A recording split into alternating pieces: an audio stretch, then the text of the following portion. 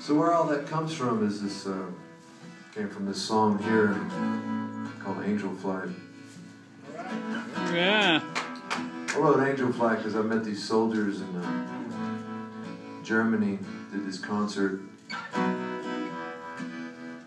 Landstuhl Air Base. It's the worst concert I've ever given. They hated me.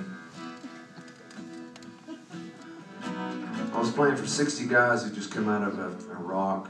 And uh, it was a hospital cafeteria, no sound system or anything. And at one end of the cafeteria, there was a big table laid there with everything you would ever want on a sandwich.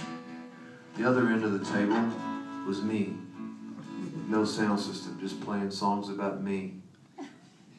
Didn't go well.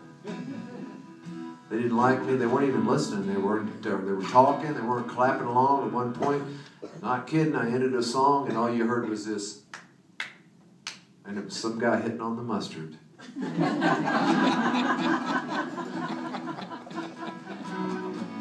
I was sitting there thinking, I don't have anything in common with these people. I don't like them. I don't think they like me. I'm out of here. I was packing my guitar up, and this big Marine walks up to me. You know how in Bugs Bunny movies, how just before the anvil falls on Wile E. Coyote, like the shadow starts because he's bigger and bigger and bigger. That's the way it started, man. I saw this shadow get bigger and bigger and bigger. And I looked up, there's this huge Marine standing there, and he goes, "Is that a Collings guitar?" Which is, it was this guitar, and I go, "Yeah." And he goes, well, "I haven't played one of those in about five years." I'm well, here, play this one. And I thought if I handed it to him and he played it, because of course he's in uniform, so he can't play very well. But anyway, I'd hand it to him, and he would hold it while I got the rest of my gear packed up. Well, he proceeded to destroy just all over this guitar. Just and everyone got really quiet, which was kind of hurtful. But, uh, and uh, afterwards, I went, wow, that's pretty good. How'd you learn to, I mean, how do you know about Collings guitars? And uh, he goes, uh, well, my brother-in-law plays them. I said, oh, yeah. Is he a musician? He goes, yeah. In a band. I said, what kind of band is it? Oh, it's a Cajun band. And I was thinking, Collings guitars are pretty expensive. Fortunately, there's not too many successful Cajun bands. Um, I said, uh, "What's the name of the band?" It was Beausoleil, and I went, "Your brother's in your brother-in-law's in Beausoleil." Is it David Doucet? He goes, "Yeah." He goes, "I said, that's your brother-in-law?" He goes, "Yeah." I said, "I know your brother-in-law. I did gigs with those guys." And I was like, "Wow, that was weird," because I didn't think I had anything in common with anyone in this room, and I know your brother-in-law. That's weird. And he goes, "Yep." I said, "So, are you from Southern Louisiana like those guys?" And he goes, "I'm from Louisiana, but I'm from Monroe." Which is like saying, I'm from the other better part of the world. to him. I go, wow, when I was 22, I used to go play at this club in Monroe. It was like the first place I ever went and played on the road. Went and played at this place, and he goes, Enox. And I went, yeah, Enox. Wow, do you know the guy who ran it? He goes, Doyle. I said, yeah, do you know Doyle? And he goes, yeah, Doyle was the best man at my wedding. And he pulls out his iPhone, and there's Doyle. Yep, that's Doyle. So we start talking about songs and music and guitars and Iraq and buying guitars in Iraq. He's like down there buying guitars and ouds in Iraq and stuff. It's weird. I had a fantastic conversation with this guy, and I'd never talked to anyone in a uniform before on a good day. And, uh,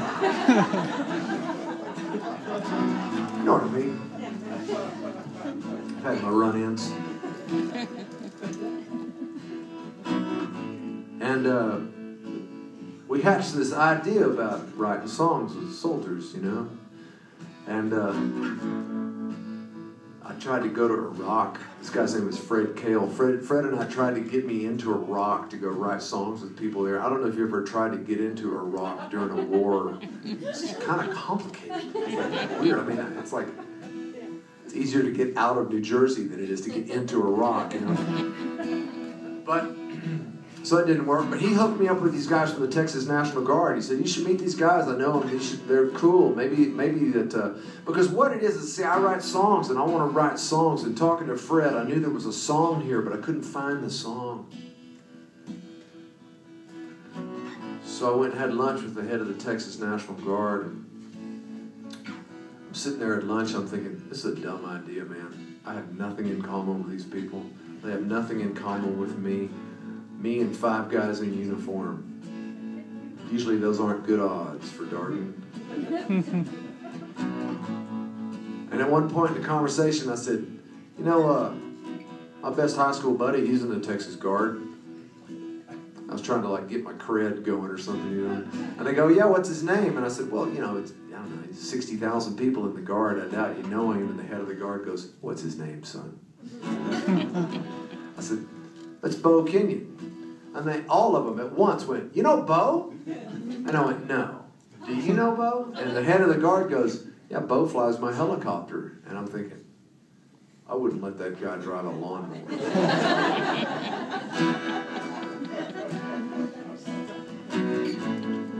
But then I knew there was a song here, but I couldn't find it.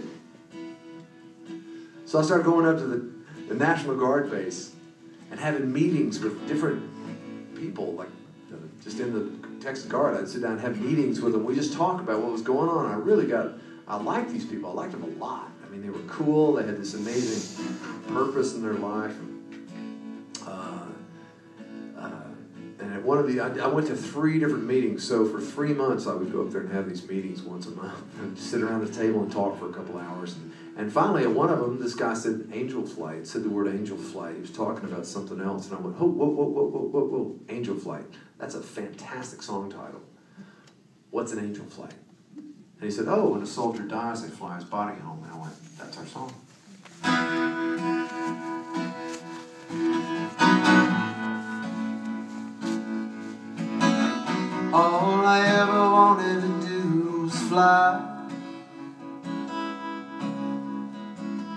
This world and live in the sky. Lift the C-130 out of Fort Worth town. I Go up some days, don't wanna come down. Fly that plane call the angel flight. Come on, brother, you're with me tonight. Between heaven and earth, you're never alone. Only the angel flight, come on, brother, taking you home.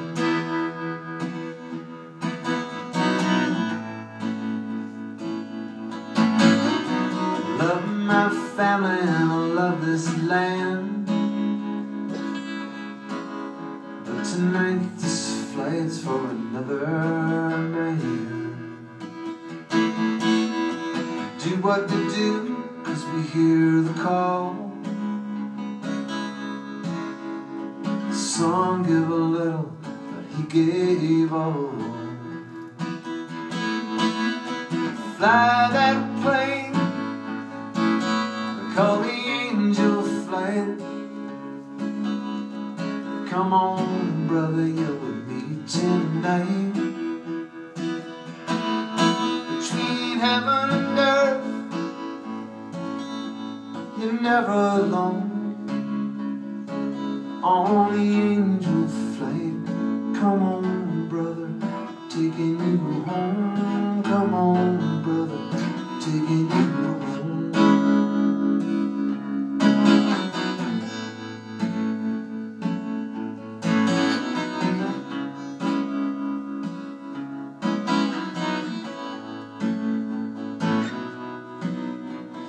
cockpit's quiet, stars are bright.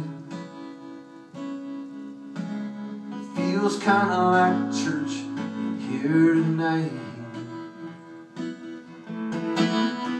It don't matter where we touch down on the angel flight, sacred ground. Fly